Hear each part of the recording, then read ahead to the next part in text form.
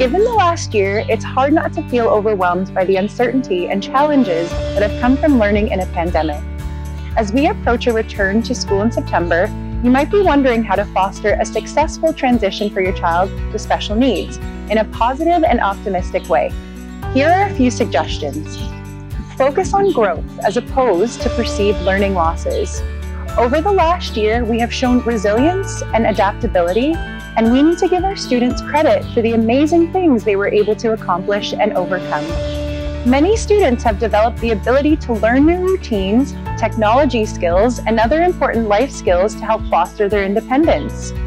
Secondly, support and reassure your child by acknowledging, monitoring, and working through their feelings together.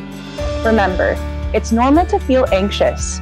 Pay attention to behavioral changes especially for our students who might have difficulties expressing themselves. Implement alternatives for reacting to stressful situations, like mindfulness and breathing exercises. It's a team effort.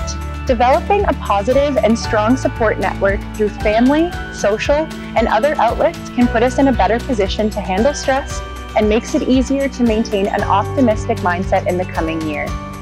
Carving out quality time through activities such as drawing, reading, and family games is the best thing we can do to facilitate positive development of social and emotional connections. Your child's teacher and others at the school or within the school board are also part of your team.